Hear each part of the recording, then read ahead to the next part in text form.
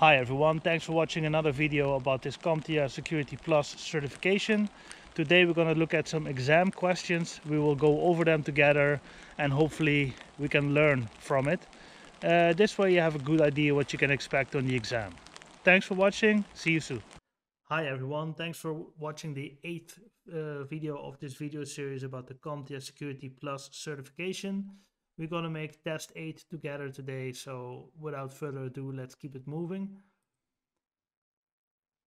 Which functionality allows for DLP system to fulfill its role? DLP standing for data loss prevention.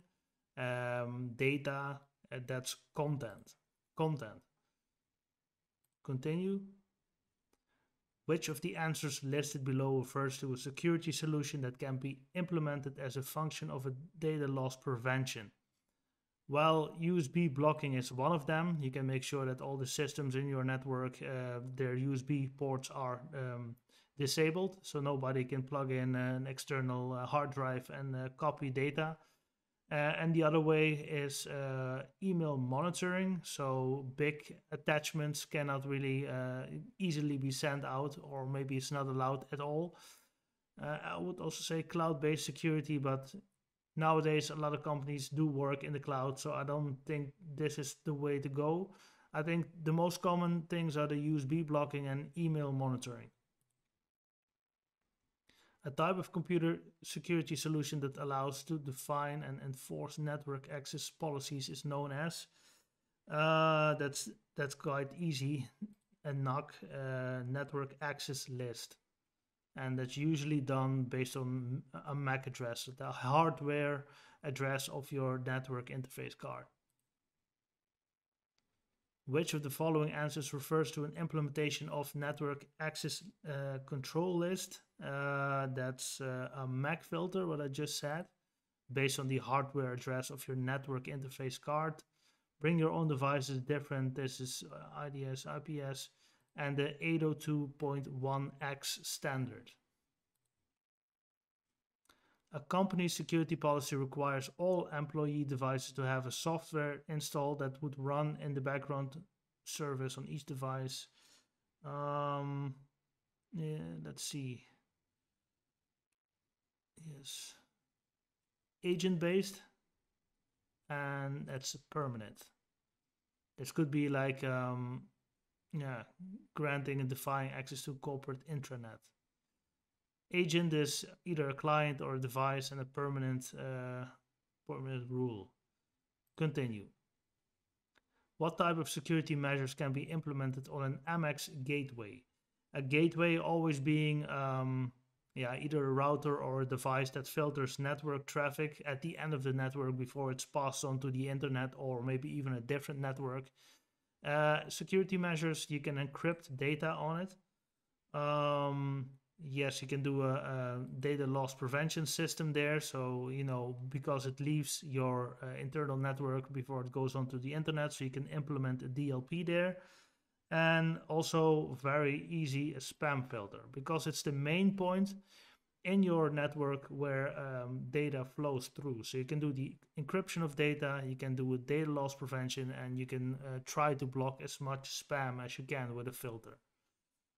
Continue. What type of device would be the most common for interconnecting two or more physical separated network segments? That's a, a wireless bridge. That's why it says bridge.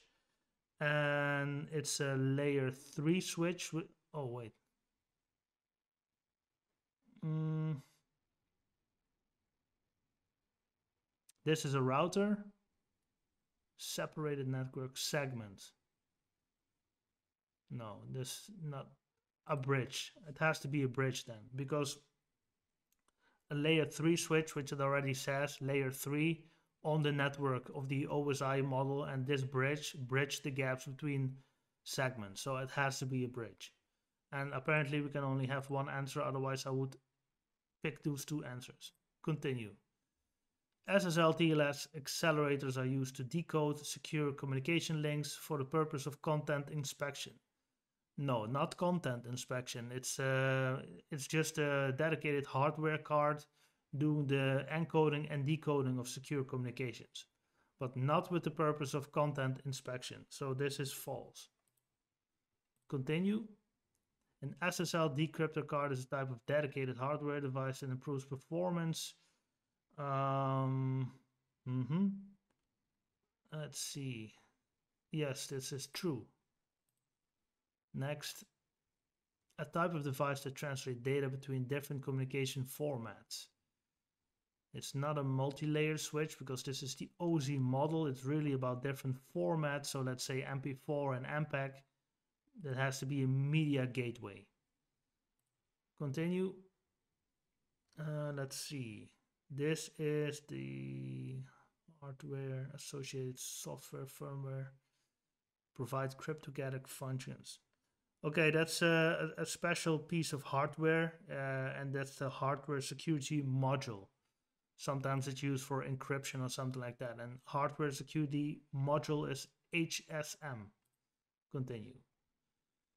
Software tool used for capturing and examining content of network traffic is known as. Uh, it's not a port scanner because then you're really only uh, scanning ports. Honeypot is something else. Vulnerability scanner, you're scanning for vulnerabilities on your network, on your router, or maybe certain systems. It has to be a protocol analyzer capture and examining. Yes, so you can examine the different protocols, SSH, HTTPS, FTP, whatever is running on your network. Continue. Which of the following is a graphical user interface packet sniffer? That's a Wireshark. Wireshark. It has a graphical user interface. Maybe in the future I'll make a video on Wireshark. It's a very, uh, very big and very neat program. And it does have a graphical user interface. Continue.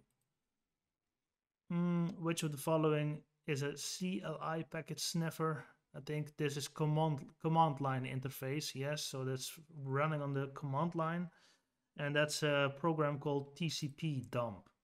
Nmap is probably also command line and both um, also graphical user interface, but I'm sure TCP dump is a client uh, interface. Uh, I mean command line interface. I'm sorry. Continue. What's Nmap? Nmap is a network scanner. Yes, continue. Which of the tools listed below could be used to detect a rogue AP? AP standing for access point.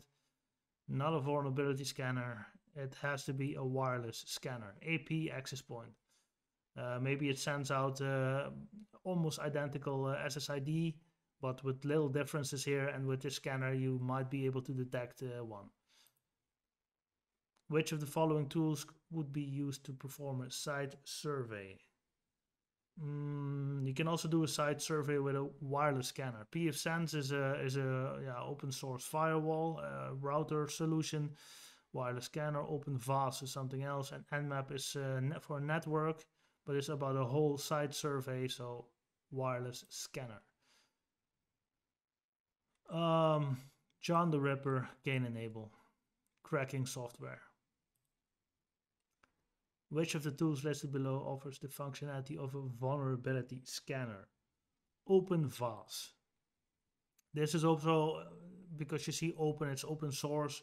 It's actually a vulnerability scanner that you can let loose on your own network, and it will uh, it will find vulnerabilities or at least uh, give you an indication if you're up to date with patches, uh, stuff like that. Very interesting uh, software. Continue. Which of the following tools offer the functionality of a configuration compliance scanner?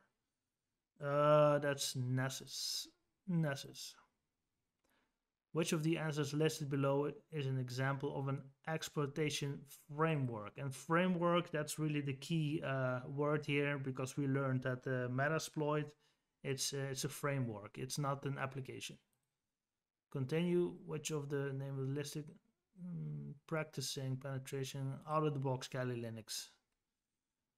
Yes, Kali Linux. Don't get confused with Red Hat, but it's um, the Kali Linux distribution so far. I did one video on Kali Linux. After the security uh, CompTIA Security Plus certification, I will uh, make more videos on Kali. Continue. Mm. Permanent irreversible removal of data. right out of the box, I would say high level formatting because it sounds like uh, the most thorough action to uh, to permanently remove data, but it's actually san- sanitization. Continue. The purpose of stenography. That's basically, uh, let's say, for instance, you have an uh, an image. Uh, you download the image and you have a program to put uh, data inside of it. And the image, when you click on it, you still see a picture of a windmill or a car but when you open it with the same program that you put data into the image, you can read the message. So it's basically the purpose of this is to hide data inside or within another piece of data. In this case, in this example, uh, an, an, image. Continue. Uh, let's see. A monitored host containing no valuable data specifically designed to detect unauthorized access attempts. Honeypot. Straight out of the box. And honeypot is definitely something that you uh, you put up on inside your own network making it uh, making it vulnerable um, for uh, uh, unauthorized access attempts or at least try to get access to this machine and when the hacker traps inside the honeypot uh, you can get more information about your potential hackers so it's it's yeah, if you're under lots of attacks as a company, you can put on up a honeypot, and in that way you can kind of trap a hacker. And um, you know every hacker has to leave some traces here and there, and uh, you can get information out of that and to see where the potential attacks are coming from, or get more information about the attack uh, attack methods that they make, and based on that uh, improve security. Finish. Let's uh, go over some of the answers. Content inspection, correct. Ha, okay, I missed cloud-based. Yes, definitely, because when you have uh, Google Drive or you have uh, OneDrive from Microsoft, you can still upload there. You know, it's just drag and drop and uh, whole big files you can upload to the cloud. So yeah, all of those. It has to do down data loss prevention. All has to do with data.